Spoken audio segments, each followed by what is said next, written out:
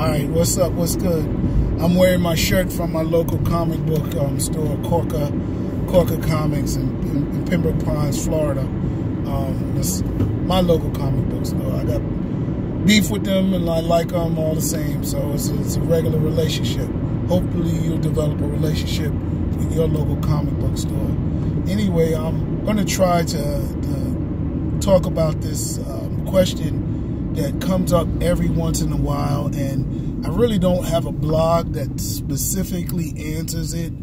Um, and I've alluded to it and other blogs and I just want to try to take it head on and that is um, why uh, the struggle with African American um, sci-fi. And I'm just going to say, let's not, you know, not, not calling it black sci-fi for a moment, calling it African American sci-fi.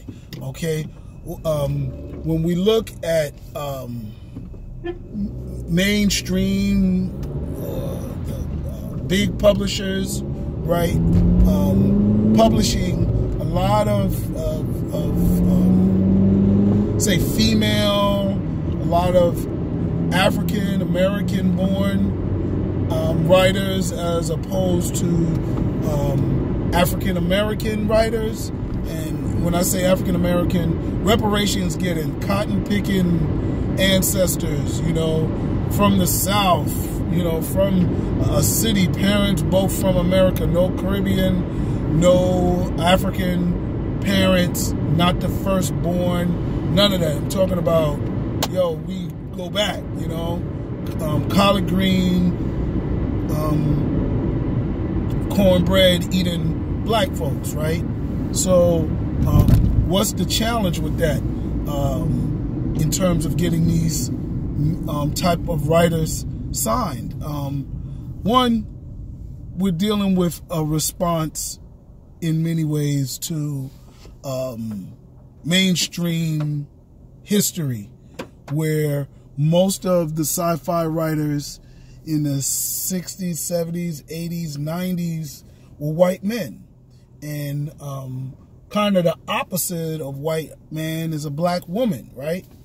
So I think um, there's a lot of interest in that. I'm not saying that they're not better no doubt. I'm saying that they they're good. All the women that um, uh, have gotten uh, publishing deals, I'm reading one now, Tomei, right? They're good, and um, no slant against them. However, I'll, I'll say that um, black sci-fi is mixed.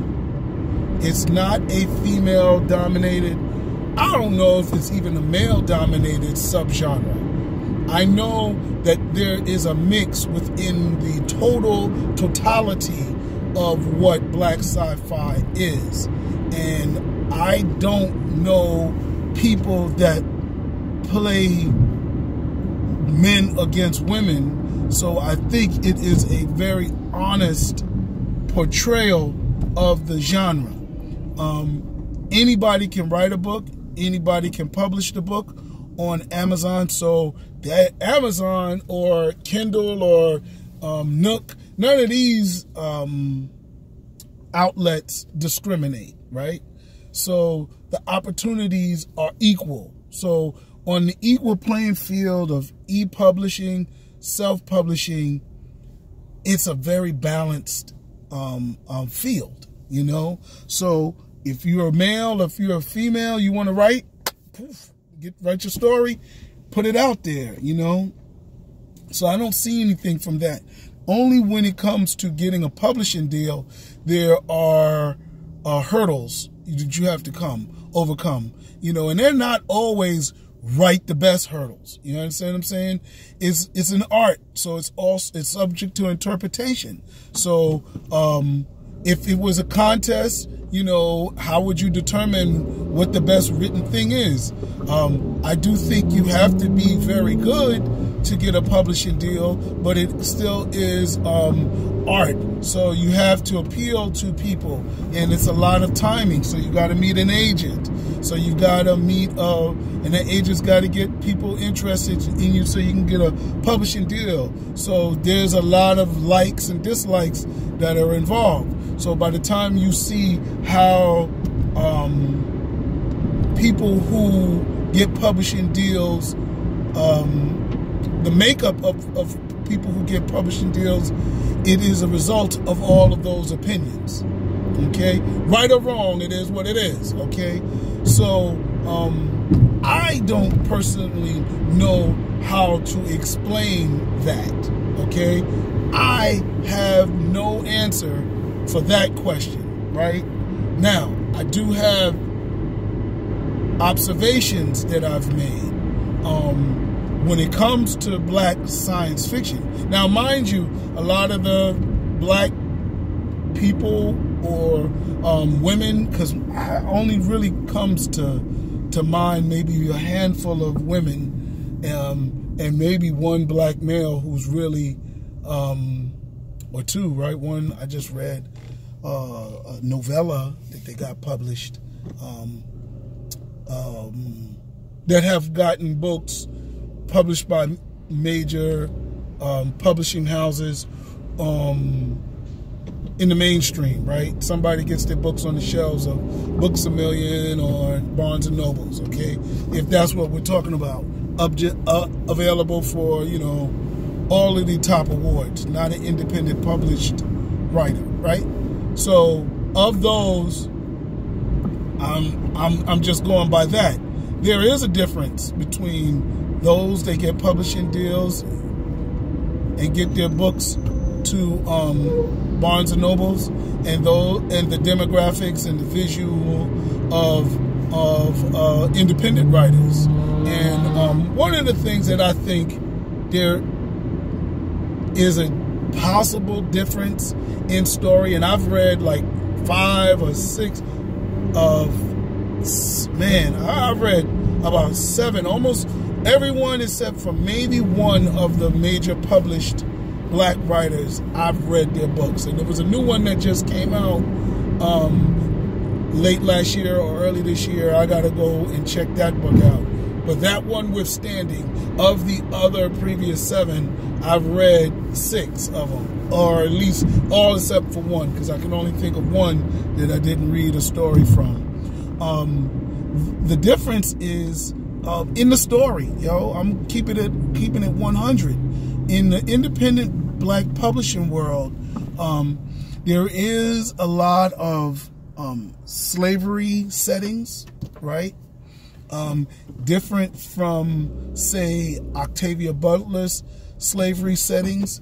They aren't colorless, whereas Octavia Butler's um, slave stories uh, say stories stories that had slavery settings were colorless, meaning they showed the um, spirit of the person. Many of her characters were victimized by black people as well as white people, and almost color really didn't matter. Um, they were, you know, one of the ones, even when the ones were invaded by aliens, race was a not the central issue. It was really humanity. And people of races were victimized, uh, but that wasn't the central story. Now, in, in the independent black sci-fi world, know, people's going for race straight on. They, you know, they're overthrowing the, the their black first of all, so the people are not spiritual beings, they're black, and not to use, you know, Octavia Butler as the only example, but um, I'll get to some of the other ones. But that's one, and that con, you know, contrasts from how Octavia portrayed them. Um, but yeah, they, you know, the black people are victims or heroes or rebelling in a system of oppression by white people. Pretty much where history was. Um, and there's no exaggeration, no change. You know, I got a story of a, a real black pirate, you know, black Caesar, and he's, you know, rebelling against on the high seas against the slave trade. Very real. Okay. Um, and then you have other stories in, in, in the space speculation where um, the color continues, right? Color still becomes a factor where um, I, there's a story of uh, a space story where black people go out in space and actually have, have um, more power and military might than the white people in space, right? Now, they've colorized space, but if you've grown up watching Star Trek, Star Wars, Battlestar Galactica, even as uh, you know, even late as Krypton with the TV show they did on Star Sci-Fi Channel, you'll see either multicultural societies or straight white planets. And you will close your eyes and think the universe is whiter than Earth. You know, on Earth, white people only make up 10% of the Earth's population. That might even be changing because the birth rates are really changing in European countries. Um, but do white people make up 10% of any space stories? Serenity, Starship Troopers? No. Um, even wrote the characters in Starship Troopers to be South American, but they were white in the um, in the movie. So um, that becomes it an obstacle in the in the stories that I've read in mainstream. The black characters and the black people don't have the same power. They're either magic Negroes who never realize their powers and there's no explanation for it. They just happen to be more powerful or more gifted, you know, than other cultures. Um, or they um, are not really stronger. They're fleeing oppression, and somehow they may luck up and escape the might of the of the white um, humans or other aliens, other alien people. Um, what's another one that I um, even in even in the uh, what do you call it? the Sword and Soul or Sword and Sorcery, the fantasy realm, which is also part of of the black science fiction or or part of science fiction, you know, the Hobbit type stories. Um, it's it's just black, and um, we are just as we are Game of Thrones. You know, we are just as brutal as as as as um they are in Game of Thrones, and um, without any variation and I'll say that that may be a disservice. I don't care how much you don't want to give Africa credit for being different than Europe, but Native Americans empires, Chinese empires, uh, uh, uh, South America empires, African empires, European empires, yeah, they all had conflicts, but they weren't all the same type of conflicts. Game of Thrones is a European empire's type of conflict. The way they conflicted in China was different. Were there conflicts? Oh, yeah. But they were different. And when we read a lot of the conflicts in mainstream African sci-fi fantasies, we're very much, you take color out and they behave just like um, uh, they behave in Game of Thrones maybe sometimes degrees of different different levels, but it's still the same thing. And, um, and maybe that's due to our ignorance of our own African pre-colonial empires, um, because I don't know any textbook on it. All I know is Chancellor Williams, you know, destruction of African civilizations.